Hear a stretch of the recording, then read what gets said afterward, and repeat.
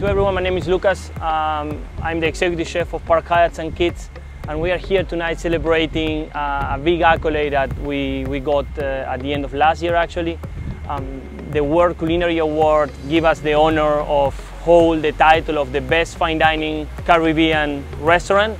So we are very happy and proud for this accolade. Myself, along with the team, we all feel very, very proud and humble. When we started this process of you know the nominations and so on, it was like a dream. And then when we actually got to know that we won, it was a, a very proud moment for myself, for the whole team, and from everyone who makes a part of the resort. All the culinary experiences we have at Park Hyatt St. Kitts are unique and special because of the team. Our people is who make those experiences great and what make that experience actually unique and that creates memories for a lifetime. Culinary is really important to the St. Kitts uh, Tourism Recovery Program. We have a really vibrant culinary scene here in St. Kitts.